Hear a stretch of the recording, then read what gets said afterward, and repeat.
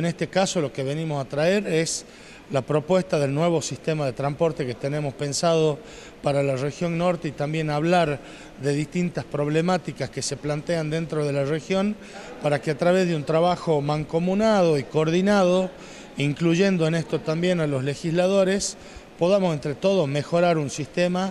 que sabemos que es malo, que sabemos que, que podemos mejorar y en definitiva le debemos eso a la gente. Tratar entre todos de mejorar un sistema de transporte que permita una mejor conexión entre las localidades y que las localidades crezcan y evitar también de esta forma que la gente abandone los pueblos y que se vaya a las grandes ciudades. Ya hemos tenido varias reuniones sobre este tema, esta vez toca embarcación, seguramente los plazos se van acortando, la idea de licitar el sistema de transporte, seguramente en el corto plazo vamos a mantener otras reuniones para continuar intercambiando ideas y en definitiva, como decía al comienzo, tratar de, llevar la mejor propuesta posible para toda la gente. Tener la realidad palpable del intendente, del diputado, del senador de la zona que conocen mejor que nadie cuál es la realidad, cuál es el reclamo de la sociedad de cada una de las, de las localidades y en ese sentido nos llevamos tarea para la casa. La verdad que contento porque lo que mostramos hoy fue producto de las reuniones anteriores, por lo que pudimos ver los intendentes y legisladores están bastante conformes con la propuesta y eso en definitiva nos queda sin perjuicio de, que vamos a continuar trabajando y, e intercambiando información para tratar de continuar mejorando lo que ya tenemos. Ha sido una reunión muy positiva. Este, con toda la, la gente bueno, de la AMT, por supuesto, eh, también han estado representados todos los municipios de, del departamento, en algunos casos con los intendentes, en otros casos con los secretarios de gobierno.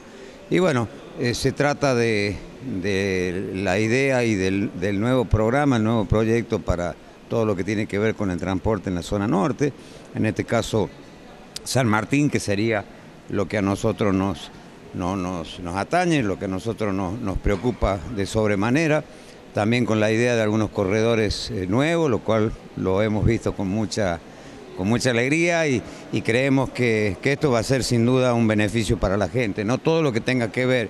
con el mejoramiento del transporte en cualquiera de, su, de sus modalidades creo que es muy, muy importante, muy positivo y que realmente es un servicio para la gente. ¿no? Me parece una iniciativa positiva que la AMT a través de del apoyo del gobernador de la provincia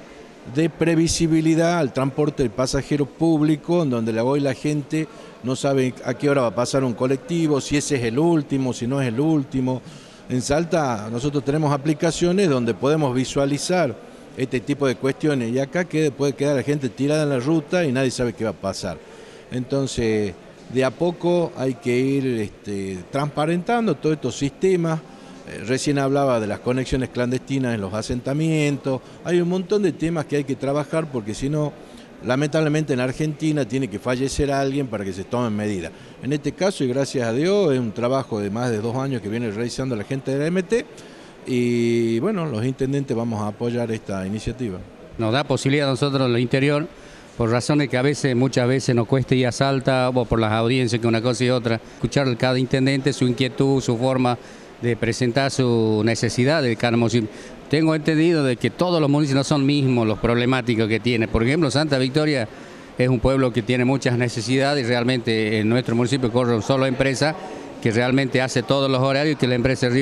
Pilcomayo, después está la empresa Tejada, que no tiene la semana, ¿viste? Y entonces nos falta, nos falta vehículo o nos falta otra empresa más para que la gente de la zona, las comunidades indígenas,